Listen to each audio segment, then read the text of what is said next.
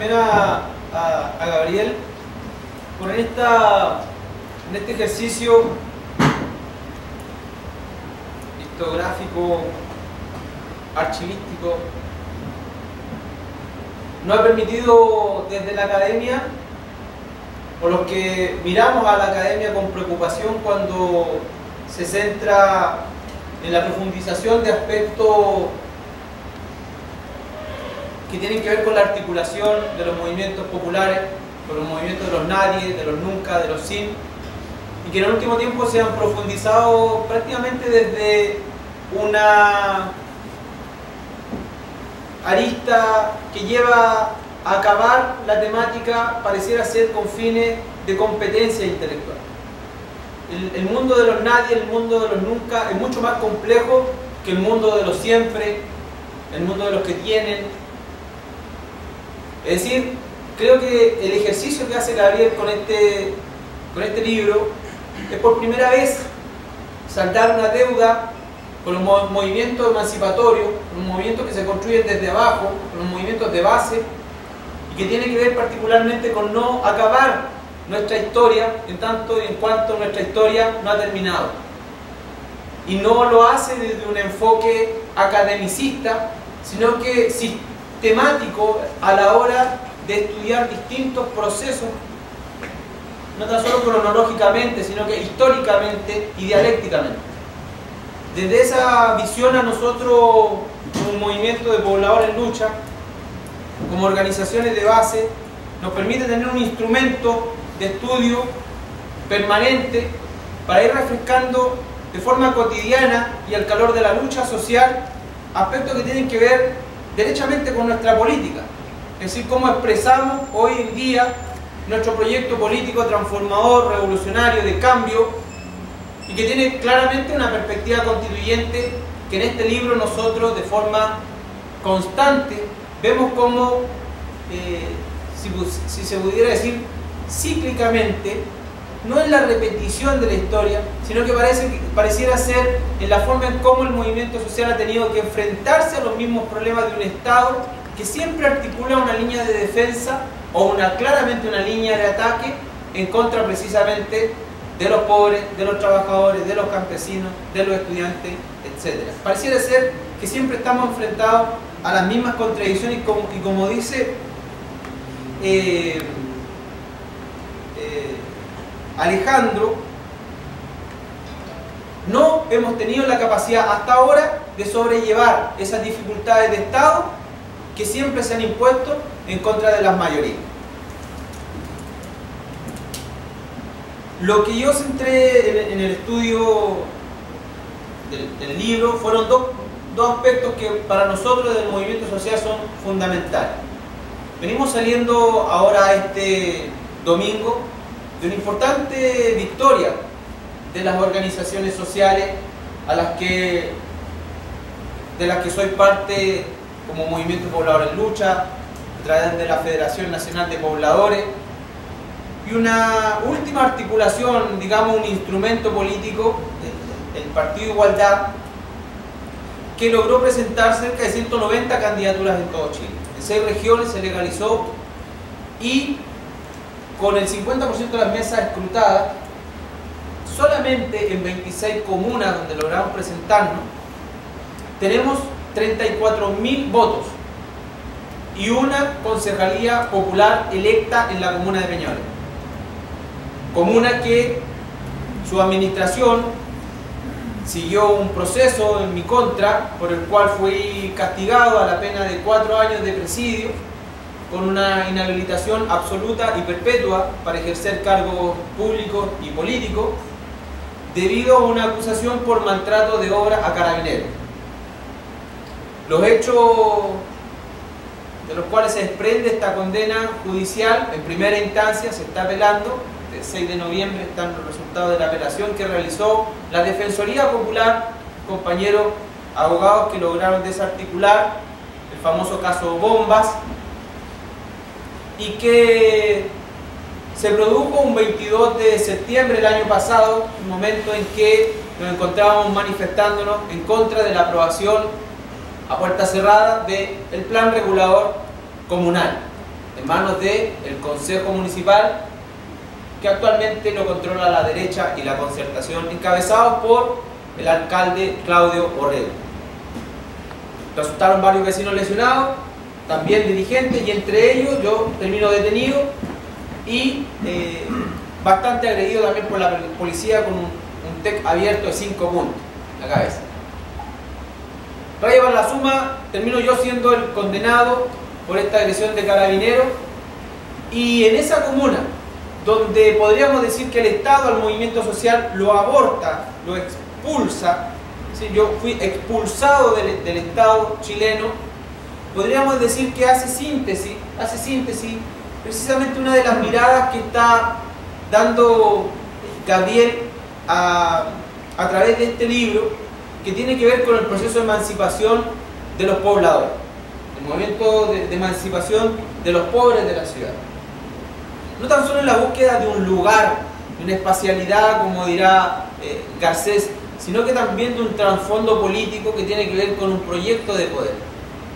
Y ahí es donde nosotros nos encauzamos, nos encauzamos en una línea constituyente que el libro claramente lo, expresa, decía yo, no tan solo en la primera parte donde vamos a comparar a estos pipiolos y pelucones que son los que hoy día derecha y concertación nos expulsan del municipio de Peñalolén, sino que también en las tres, en, las, en el último capítulo, una, una, separata, un anexo, que yo les pediría que pudieran estudiar con detenimiento, porque tiene que ver precisamente con algo súper contingente, que son las primeras propuestas desde abajo para ir constituyendo o ir articulando un poder constituyente.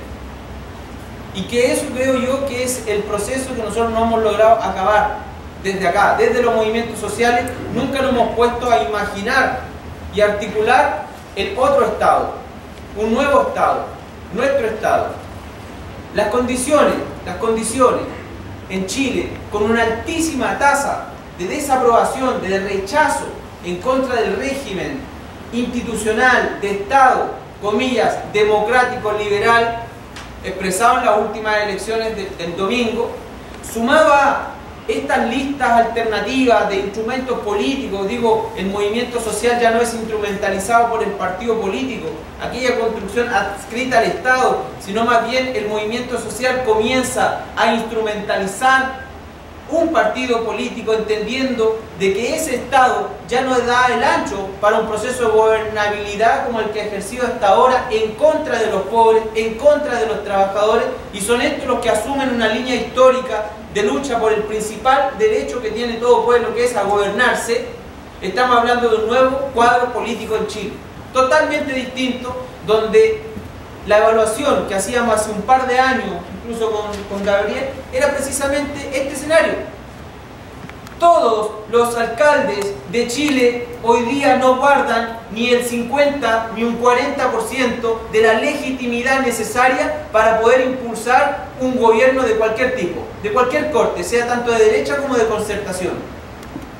Hay un agotamiento generalizado de la legitimidad y de la representatividad de cientos de cargos de las estructuras basales del Estado, que pudiéramos ver en el libro que siempre son a la larga las que tienen que dar respuesta de forma asistencial o asistencialista, nuevamente a los, a nunca, a los nadie, a los sin.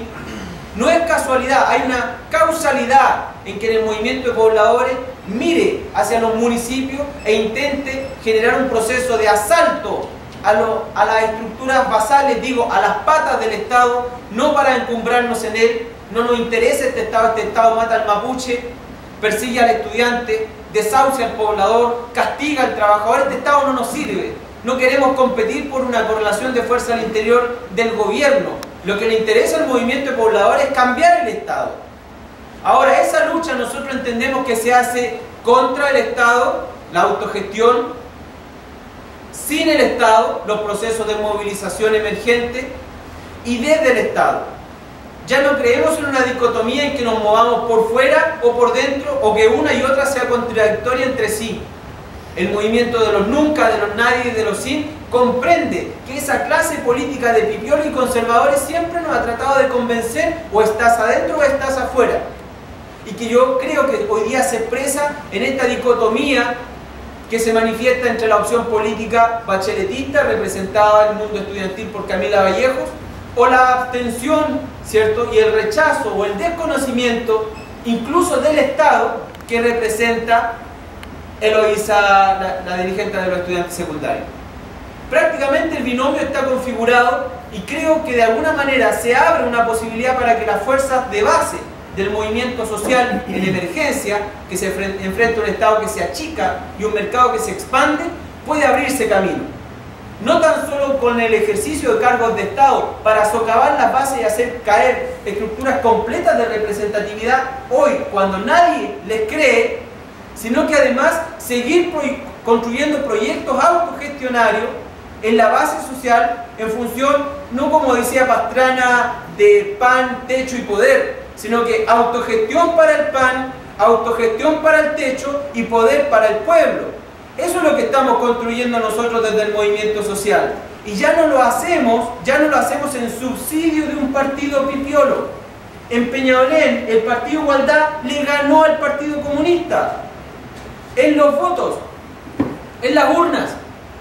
Tenemos la primera concejalía popular electa sin subsidio de la concertación, ni menos de la derecha. Digo, se puede. Lo que se está viendo camino en Chile es una importante franja de luchadores sociales, de jóvenes que se articulan como una alta dirección pública popular y que precisamente este próximo año, en momento en que la concertación no sabe si defender o no la voluntariedad del voto, la derecha sufre una derrota generalizada en todo el país y los movimientos sociales cada vez tenemos más hambre. Tenemos más hambre. Queremos que esta franja de gobierno, estos 3.500 dirigentes populares que le faltaban a Chile, que son los que nos llevó la dictadura, que nos escondió el régimen de Pinochet, ¿sí? esos 3.500 dirigentes populares que nos hacían falta hace 3 años, 2 años, hoy día existen yo creo que ya superamos la cantidad de luchadores jóvenes, honestos, con una mirada transformadora, con un proyecto constituyente y de cambio, que hoy día tienen que ponerse en función no tan solo, insisto, de cambiar la correlación de fuerza al interior del gobierno, sino que de desconstruir el Estado. Lo que estamos avanzando en concreto es un proyecto revolucionario que en el libro, yo creo que el mensaje de Gabriel es, estamos listos, estamos en condiciones. En cinco años el país ha cambiado más que en los últimos 20.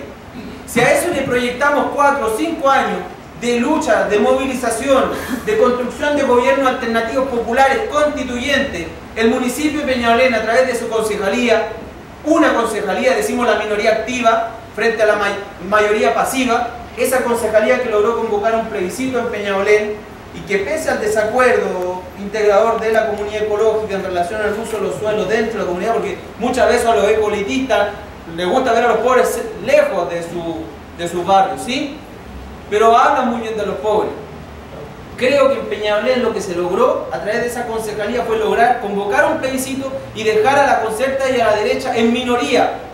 Sé que no es el cuadro generalizado comuna por comuna, pero también el libro nos relata que esas construcciones alternativas no se dan de forma pareja en todo el país, sino que de, forma tiene aspectos multiformes.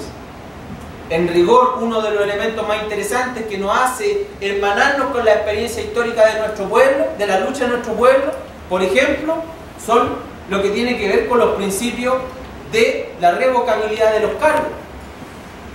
La revocabilidad de los cargos, lo que está viendo el movimiento social por su propia práctica, es la capacidad de someter a la discusión de la Asamblea si el compañero que fue candidato a concejal, que generó un proyecto de gobierno popular y lo pone en función de un municipio luego de resultar electo, no cumple la tarea política, ese compañero deja su cargo.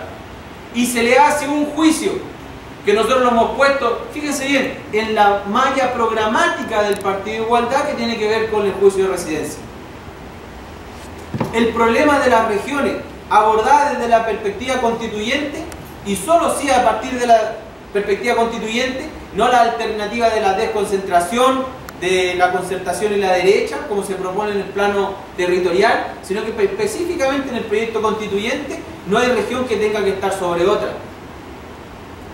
Claramente la distancia entre Argentina y Chile, este Buenos Aires eh, todopoderoso, que castiga, persigue y explota a sus provincias, se quiso reproducir en Santiago también, se quiso reproducir en Chile también.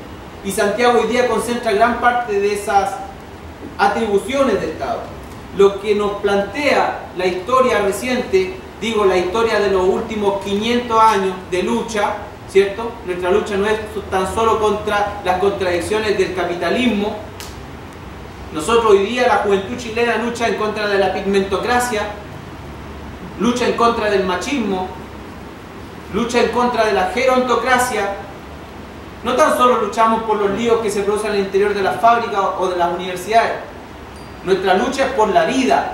Y el proyecto que se va dibujando en definitiva tiene que ver, y yo creo que eso es lo esencial del libro, con un proyecto constituyente, pero que trae a colación los principales mensajes y elementos políticos, programáticos que están surgiendo desde las principales luchas que están transformando el país. Digo, la constituyente, los procesos constituyentes de creación del Estado tienen que ver con el mensaje de los revolucionarios franceses cuando dijeron de que había que derrocar al rey, a ese poder absoluto.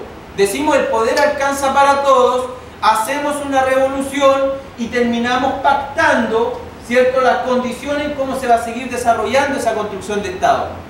Creo que la constituyente de Salazar, la constituyente de Gabriel, la constituyente de los pobladores, de los trabajadores, de los sindicatos honestos, clasistas y de cambio, no es una construcción social, digo, un contrato social o un pacto entre humanos, entre personas.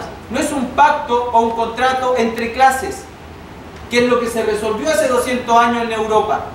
Creo que hablamos en Chile de un pacto vital, de un pacto entre la humanidad y la madre tierra, que es lo que trae a colación precisamente el nuevo movimiento social y la sociedad en movimiento. Los pueblos originarios tenemos para ofrecer, para convencer en torno a un proyecto constituyente, pero no entre clases sociales, sino que entre la humanidad y el medio ambiente y la madre tierra. Está pasando en todo el mundo, en Turquía, son proyectos constituyentes.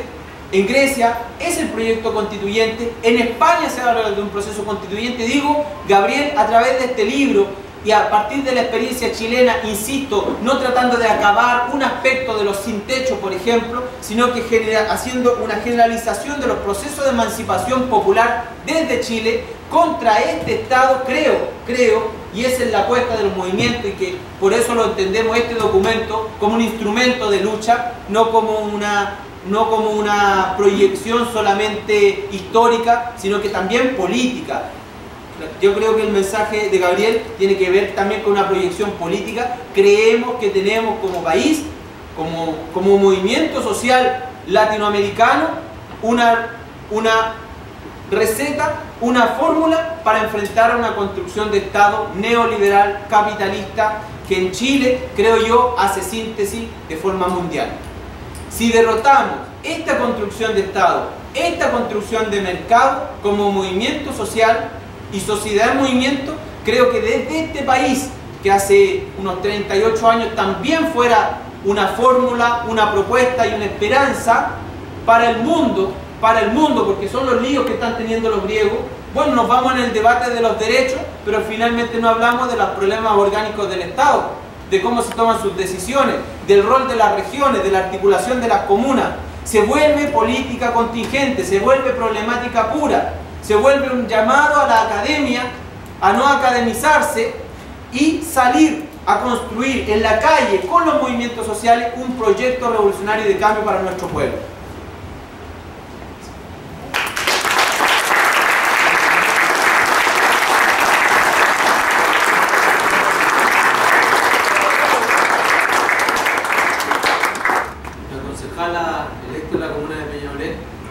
y no es porque creamos que haya que generar una, una, cuna solamente por el control de los cargos administrativos del, Estado.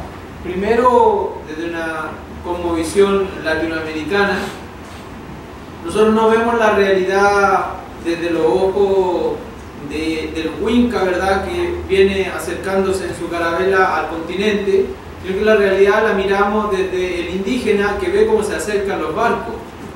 Nuestra primera respecto a los procesos de dominación mundial es que hay pocos hermanos mapuche, indígenas, estudiando en las universidades de Europa, pero hay muchos europeos estudiando los procesos emancipatorios latinoamericanos. Y una primera contradicción entre el occidente, ¿verdad?, y las tierras indias, es en que nosotros no, no, no hemos logrado descolonizar nuestro proceso incluso de formación intelectual.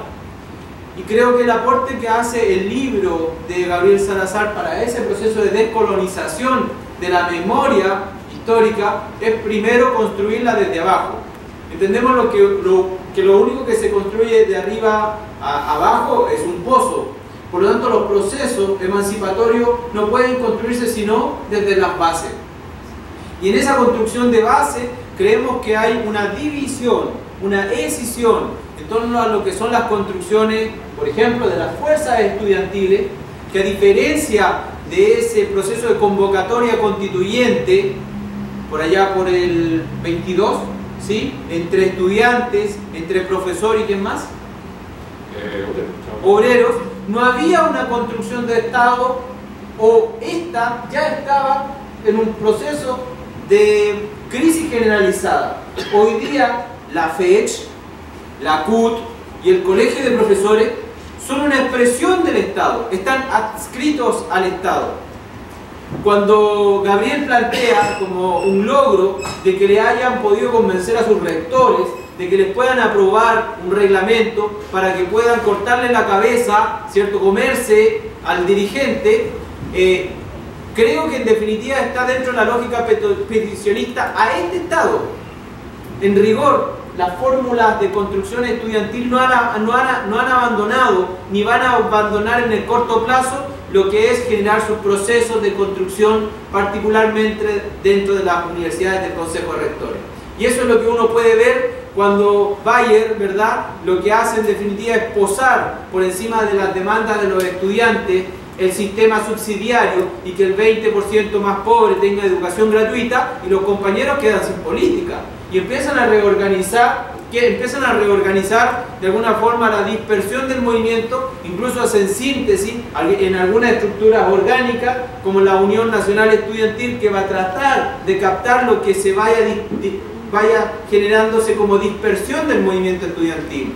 Los compañeros de Revolución Democrática tienen un poquito más de apetito por los cargos de elección popular por ahí se van arrancando los hermanos a ver si es que construyen algún partido y se transformen en algún tipo de partido instrumental como el PPD del año 90, 89, 90.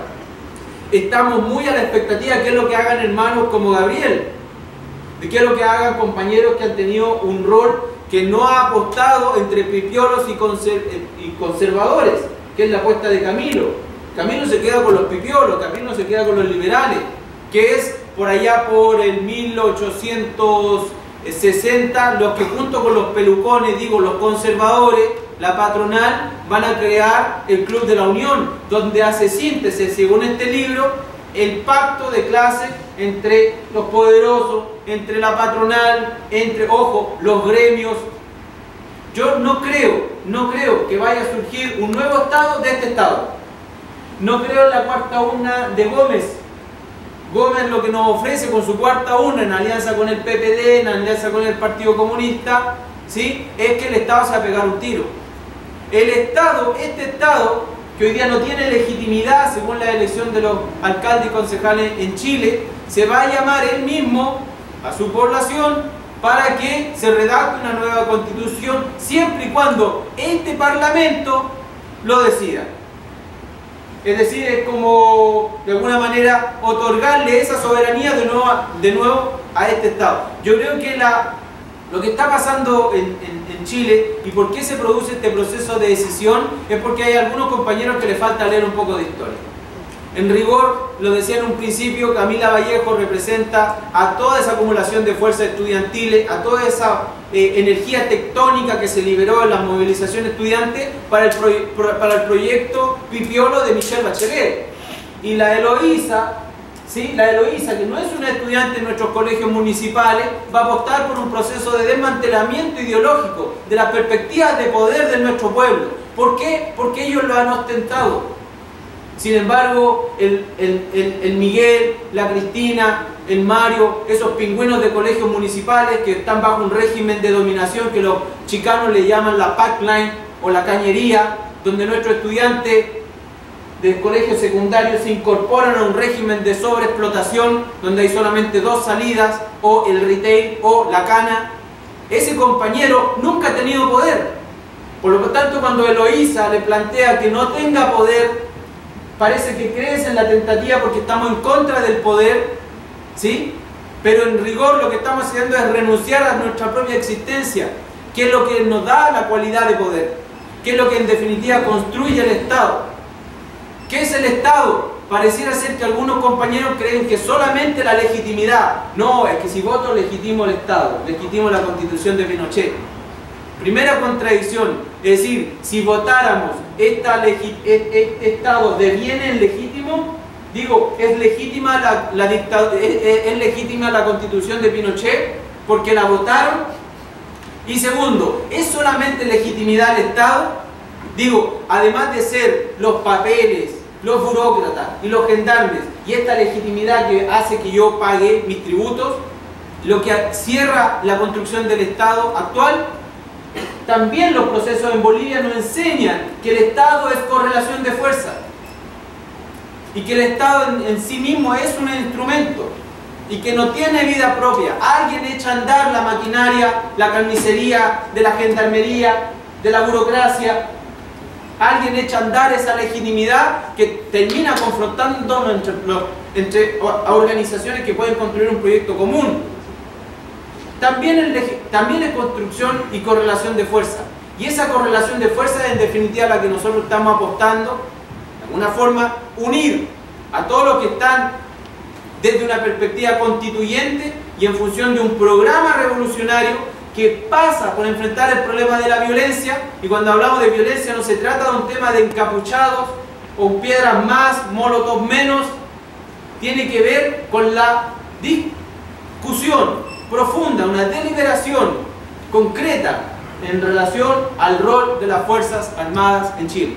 Y un tema de debate también con el profesor, que yo creo que él va a contribuir mucho con este libro, porque deja planteado por lo menos las primeras propuestas para una nueva constitución, ¿sí? que lo ha, se ha organizado entre muchas organizaciones ciudadanas, insistimos, no le creemos a la cuarta urna, creemos que la constituyente es social, es una vía popular, hay dos vías, la burguesa, la de los ricos, la de los poderosos, y la popular, la nuestra, la de abajo, la que se construye la población en torno a la construcción del poder comunal, entendiendo el territorio como el espacio geopolítico decisivo. Desde ahí se están construyendo hoy en día esa, esa, esa alternativa la construcción de comuna, la construcción de poder constituyente, creemos que parte desde ahí en función de primero organizar el problema de la seguridad, el problema de la casa, el problema del pan. A nosotros no nos está pasando lo mismo que los franceses cuando sus líderes, sus autoridades salen arrancando porque venían los alemanes. Y los pobres de, de París empiezan a ver que no hay tráfico de locomoción, no hay servicios básicos, no hay acceso a mercadería. ¿Y qué empiezan a hacer los compañeros?